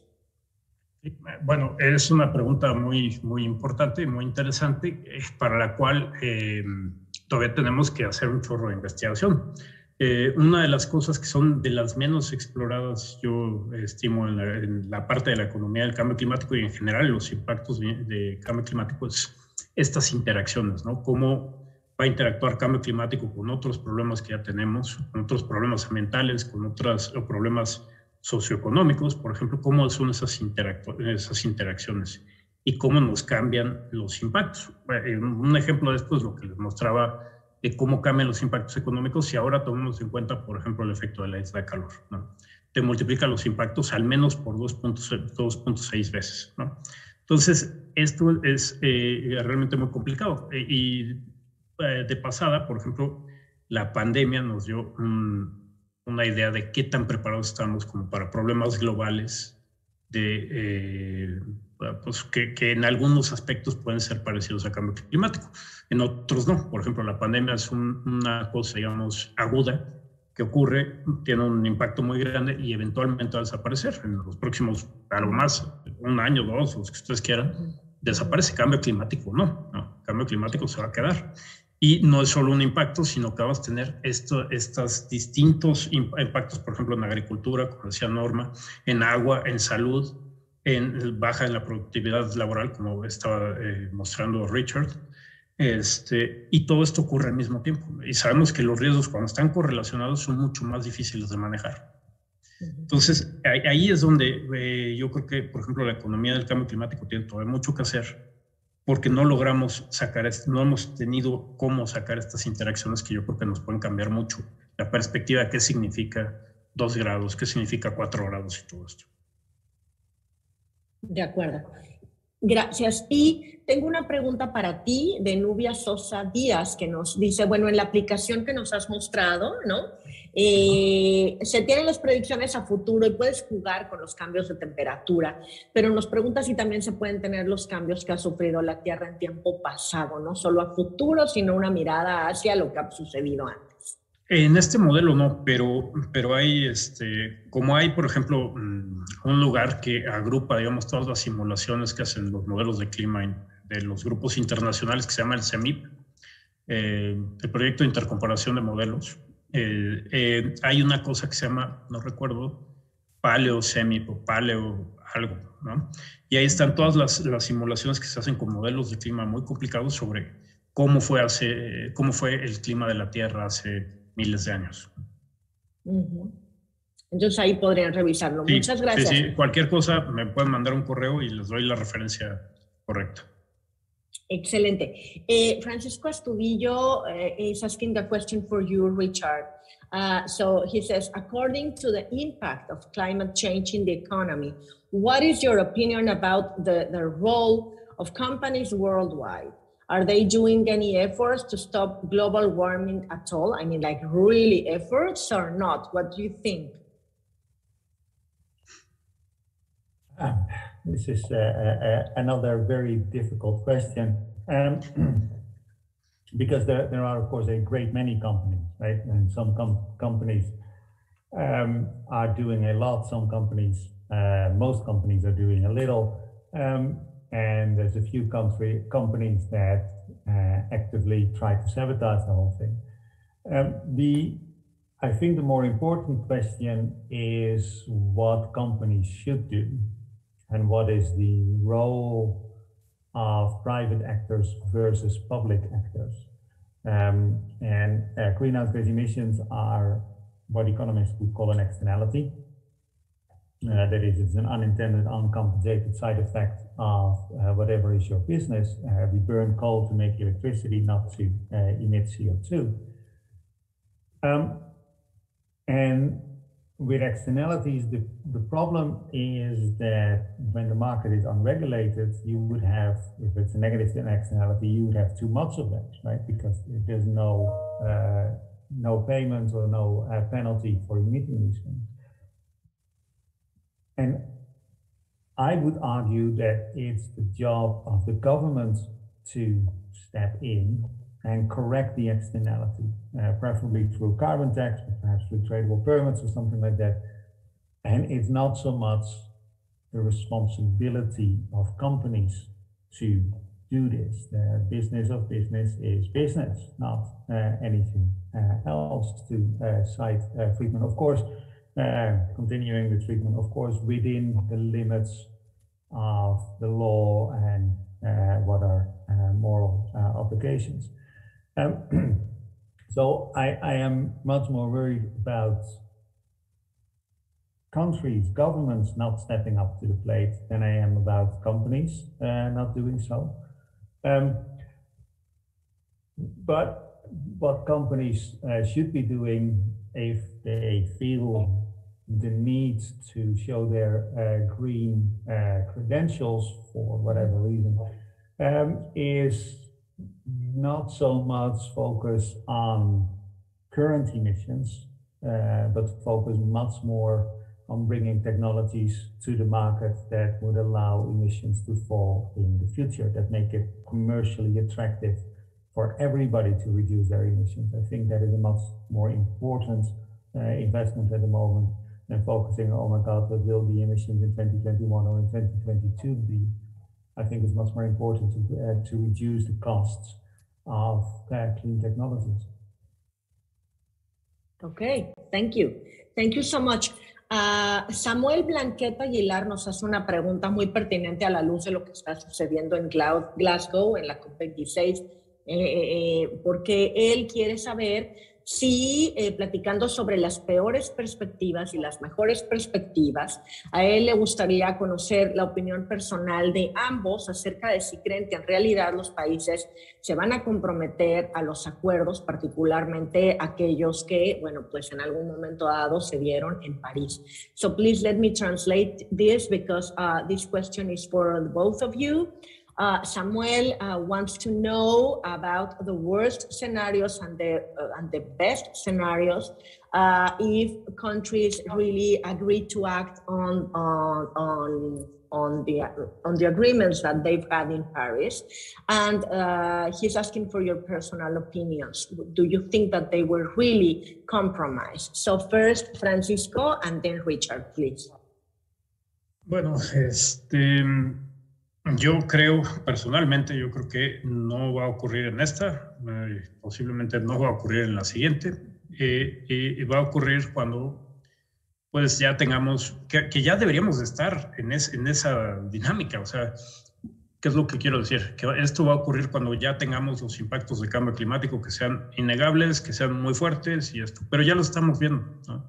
sea, eh, los eventos extremos que tuvimos durante los últimos meses, que los nuevos estudios de atribución ya te dicen que eh, la influencia humana ha cambiado las probabilidades de que eso ocurra y la intensidad de esos eventos, pues ya era como para decir, este, vamos a ponernos las pilas muy en serio, ¿no?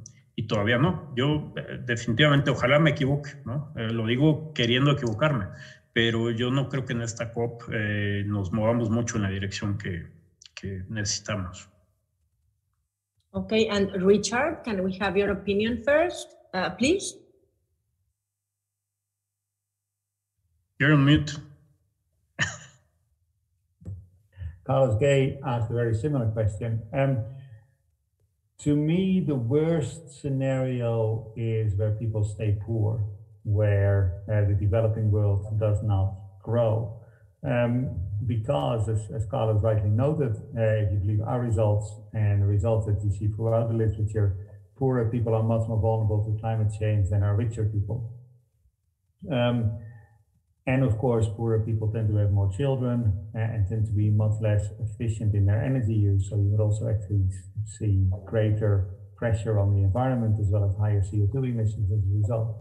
Uh, so a scenario where the world stays poor, I think is the worst possible future. Um, the uh, best possible future uh, is when where the technology optimists are correct. So there's now stories coming out of the International Energy Agency that solar power is the cheapest uh, electricity in the history, and nothing can touch it anymore. Um, if indeed that is accompanied by technological breakthroughs in uh, the electrification of transport and home heating, where we're not quite there yet, Uh, but if we can solve those problems within the next 10 years or so, then climate change will essentially go away without much government intervention or without much additional government intervention uh, because it's simply cheaper not to emit. And as I said, CO2 emissions are an externality and nobody wants to emit CO2 emissions. It's just a byproduct of using uh, energy. Uh, but if renewable energy can really compete, not just at the margin, uh, but at scale, can actually saturate the market, then the problem, climate problem, will go away, and we have to do uh, find something else for us to uh, for ourselves to do. Thank you. Um, Arleto Olvera los felicita. You have a congratulations here, uh, Richard. Uh, y dice muchas gracias por las exposiciones, me parecieron muy interesantes y ver cómo la economía se relaciona con el cambio climático y cómo a través de programas podemos simular los distintos escenarios. En este mismo sentido de la simulación, Norma Olvera nos dice, doctor Estrada, Muchas felicitaciones por el programa que han construido, una súper herramienta para explorar los impactos y los riesgos. Y a ver, ahora tenemos una pregunta del doctor Carlos Gay, Francisco, y también podría comentar el doctor Toll, eh, que dice, aunque parece que los países más ricos pues les iría bien económicamente, ¿qué opinan? Si, ¿Qué pasaría en el largo plazo si las negociaciones no tuvieran éxito? Y si estas fueran exitosas, por ejemplo, estabilización a 1.5, los países ricos serían más ricos y los pobres más pobres. Entonces, ¿qué opinan acerca de esto? ¿Es así como funciona el modelo y qué nos pueden decir? Francisco. Sí, bueno, yo creo de entrada que eh, en efecto los países ricos tienen más recursos, por ejemplo, para adaptarse y por, de lo que mostraba, por ejemplo, Richard, ¿no? Cuestiones de energía, pues sí, se pueden ahorrar este, cantidades importantes, a lo mejor en cuanto a agricultura los rendimientos pueden subir, pero, es un gran pero, este, yo creo que no estamos tomando en cuenta todo lo que deberíamos de tomar en cuenta por ejemplo, cómo cambian los eventos extremos, cómo están pegando los eventos extremos, eh, no solo en nuestras latitudes, sino también en, latitudes donde se encuentran los países más ricos. Y hay un tema muy importante que es no solo eventos extremos, sino las catástrofes climáticas, ¿no? ¿Qué pasa si de pronto se detiene, por ejemplo, la corriente termoalina, ¿no? Eh, los modelos que tenemos actualmente, por ejemplo, en economía, no están muy bien hechos para ver ese tipo de, impactos y en general tienden, en mi opinión personal, a ser muy eh, optimistas. Y eso es, digamos, eso es por, por un lado. Eh, la otra es que, como les mostraba en alguna de las diapositivas, todos los impactos son relativos a lo que uno está acostumbrado, ¿no?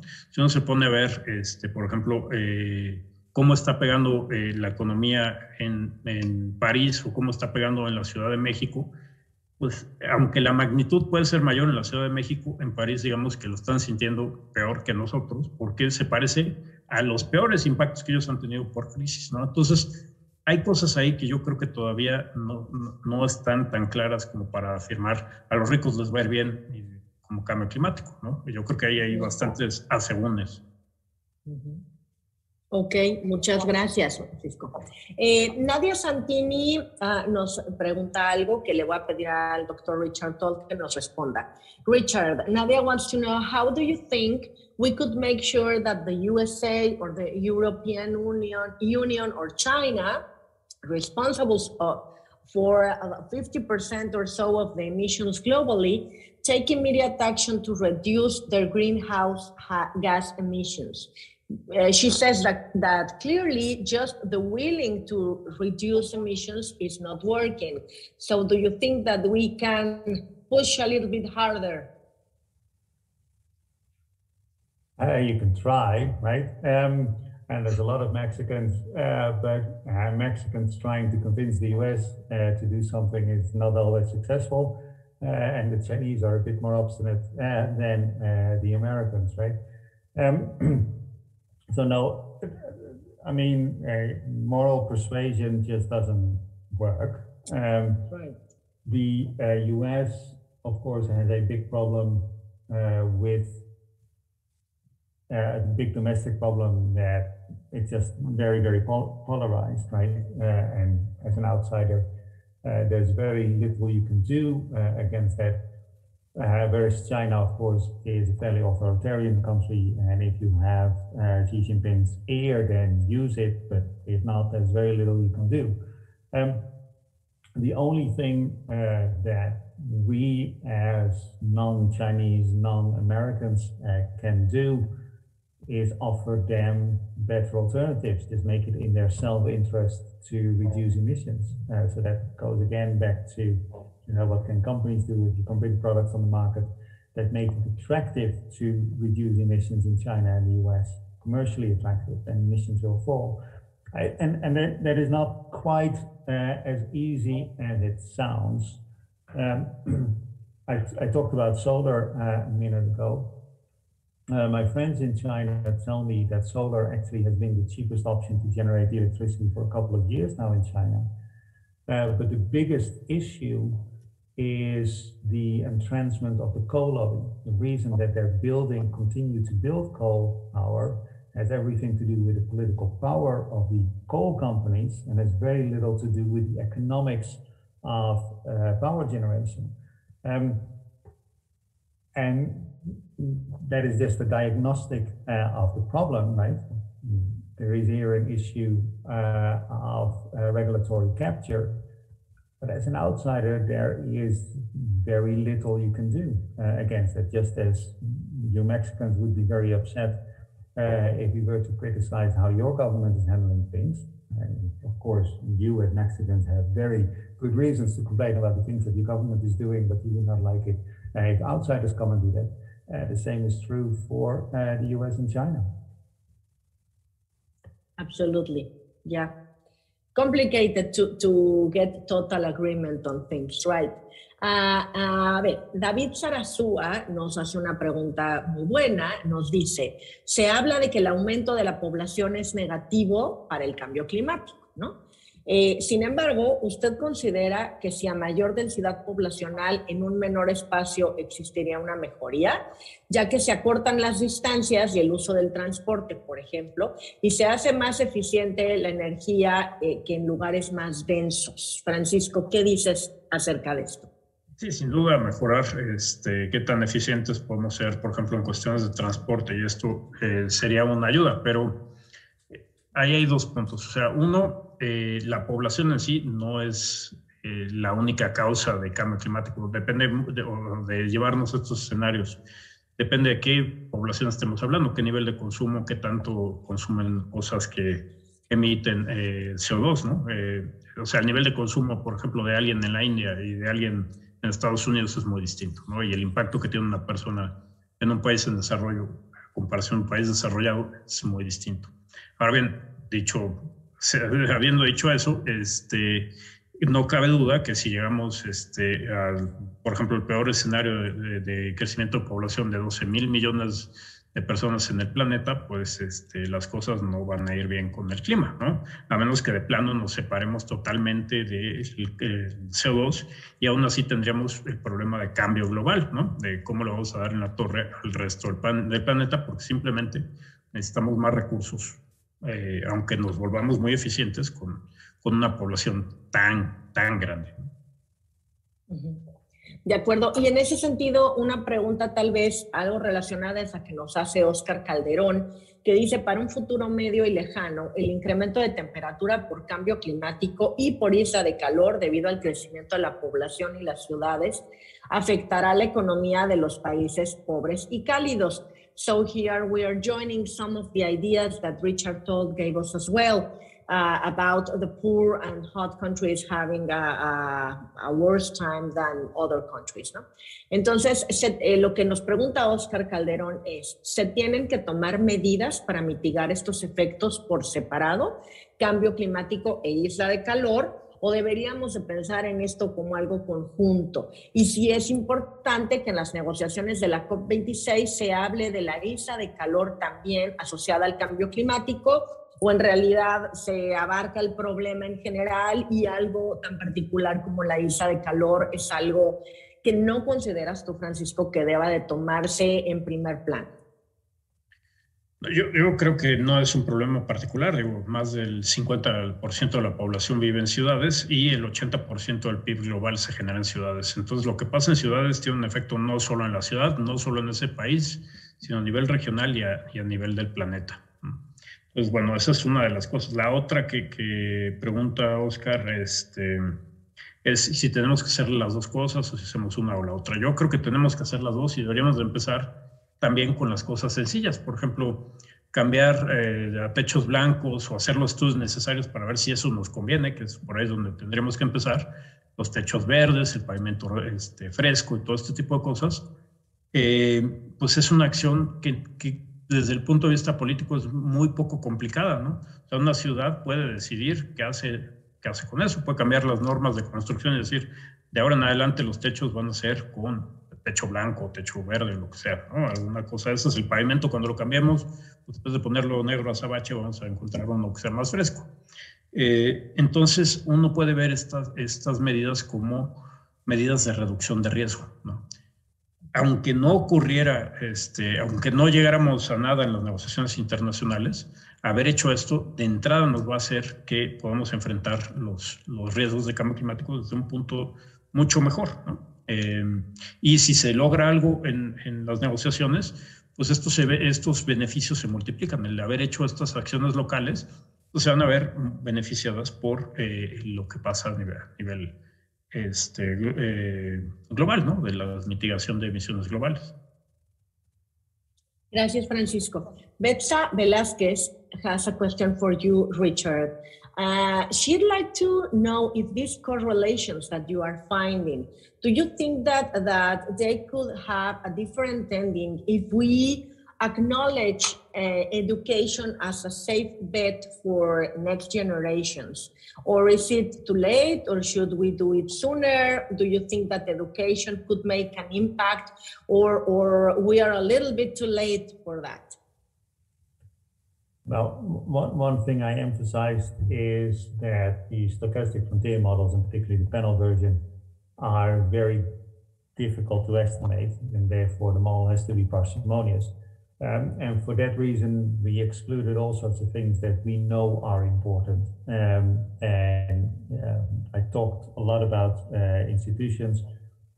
I could just as well talk a lot about education, uh, which we know is very important for development. Um, but for the reasons of uh, parsimony in the model, I uh, excluded it, not because I don't think it's important.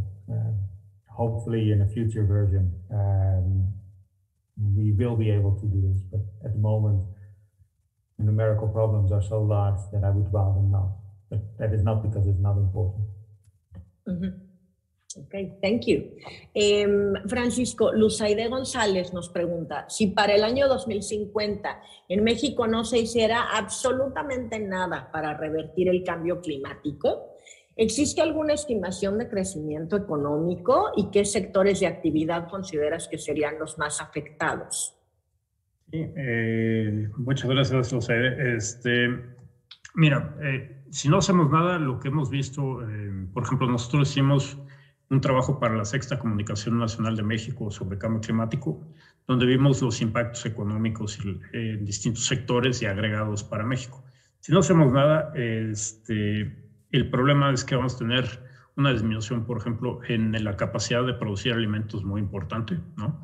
Algunos cultivos para finales de siglo estarían perdiendo hasta un 80% en sus rendimientos y algunos estados pero no solo eso, sino que ya ahorita lo estamos viendo. O sea, en, estas, en esta década y en la que viene, muchos cultivos estarán perdiendo entre el 5 y el 20% de sus rendimientos. Eso es lo que encontramos. Por ejemplo, en cuestiones de inundaciones, eh, que tanto nos preocupa eh, a veces, ¿no? Este, por ejemplo, las inundaciones costeras.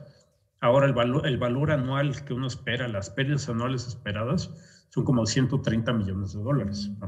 Para finales de siglo, bajo un escenario donde no hacemos nada, pues estaremos hablando de que de 130 millones de dólares pasaremos a 10 mil millones de dólares la pérdida anual esperada. Es una bestialidad, el cambio en riesgo es enorme. Y el cambio en riesgo también, por ejemplo, por inundaciones fluviales, es muy grande, no solo en los estados pues, que típicamente tenemos inundaciones como Tabasco, este, Veracruz, Tamaulipas. sino, por ejemplo, en el centro del país, los riesgos de inundaciones fluviales cambiarían de manera muy importante y con ellos los costos. O sea, no hacer nada, eh, y eh, a eso me refiero no solo en las negociaciones, eh, otra vez, es muy, es muy, es súper importante educar, como estaban diciendo en las preguntas anteriores, desarrollar la ciencia que necesitamos, desarrollar la capacidad y, el capital humano para entender mejor estos problemas, qué significa, qué podemos hacer, y eventualmente, o no eventualmente, ya empezar a ver las opciones de adaptación y empezar a no solo verlas, sino adaptarlas, este, a tomarlas, ¿no? Digamos, tenemos que pasar de que cambio climático y sus impactos sean como trending topic a que sea algo que afecta realmente la realidad, ¿no? Que no se quede en el discurso. De acuerdo. A veces nos cuesta trabajo imaginar, tal vez eso es parte del problema, ¿no? Cuando pensamos en el futuro, consideramos que puede pasar o que podría no pasar y a veces queremos seguir pensando en que seguro no pasa, ¿no? Y tal vez por eso de repente eh, tenemos estas situaciones. Eh, Carla Carrillo pregunta desde el punto de vista económico, ¿hay otro modelo económico posible para el mundo o solamente son utopías? Eh. Creo que esta pregunta es mucho, muy hecha la medida para Richard. Richard, somebody is asking if climate change is somehow a problem of capitalism, uh, or if, if we change the model, the economic model, uh, then everything is going to be okay, or what do you think about this? Yeah, my, my Spanish is good enough to actually ah. have understood that question, and I hope that somebody would answer, somebody else would answer it. Um, I, I mean, you could answer this question at two levels. Uh, one is solving the climate problem is hard enough without also trying to overhaul society uh, at the same time.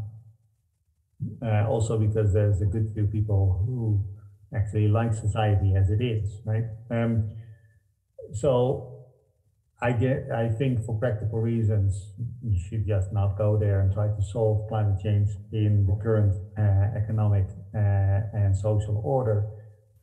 Um, with regard to the question, is capitalism responsible for um, the climate problem? I strongly hesitate to say yes there. I mean, there's a few different uh, socioeconomic orders, right? We've seen, uh, we have capitalism in most places in the world. Uh, we've seen communism, and it's still there in some countries. Communist countries are not better for the environment. In fact, in many cases, they're a lot worse for the environment. Um, and then the other alternatives to capitalism are uh, the kleptocracy uh, that we see in Russia, um, which not better for the environment either. Um, or we could go back to a feudal system um, where we actually don't have much information about greenhouse gas emissions because that's a largely agricultural society and seems to be completely unsuited uh, for an economy that is driven by manufacturing and services. So when you say let's try a completely different economic order, the question then really becomes what do you really have in mind there and that would work and that would work in reality rather than in uh, your uh, fantasy, right? And uh, the, the systems that we've tried are either no longer applicable to the current economic situation uh, or are known to be worse than cap uh, uh, capitalism. And the problem with capitalism is not so much the, the, the I mean, the, the, hallmark of capitalism is, of course, the private ownership of means of production. Uh, and the alternative is, of course, that somebody else owns them. Um, the, the, the, the problem with externalities like uh, greenhouse gases is not a problem of the economic system per se, but it's actually a failure of government. It's a failure of the governments to regulate these things through tradable permits, through carbon taxes, uh, technological standards, uh, what have you. And uh, the capitalist system has actually shown since the 1970s and 80s that they're actually pretty good at solving environmental problems if there is the political will to solve them. Uh, and then if you look at uh, acidification in uh, North America and Europe, that has basically been solved. If you look at the problems around the ozone layer, that have been solved. If you look at biodiversity issues locally in North America and Europe, that have been solved largely.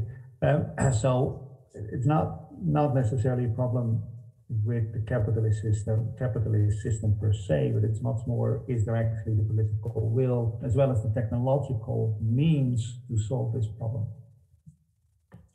Thank you, Richard. And the, and the political will, we are really looking closely uh, at, at COP26, you know, because that's, that's an interesting place where these conversations will uh, are taking place.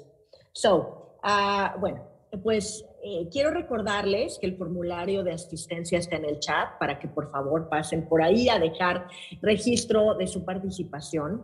Eh, tenemos muchas felicitaciones y algunas otras preguntas para nuestros invitados, pero se nos está terminando el tiempo, por lo que haremos llegar estas preguntas a Richard o a Francisco eh, para que puedan contestarlas. Y sin más, pues yo quisiera agradecer mucho la participación de todos los asistentes, quienes con sus comentarios nos han ayudado a mantener esta conversación viva. Francisco, muchas gracias también. Richard, it was such a pleasure to listen to you. Thank you so much for everything you shared with us today.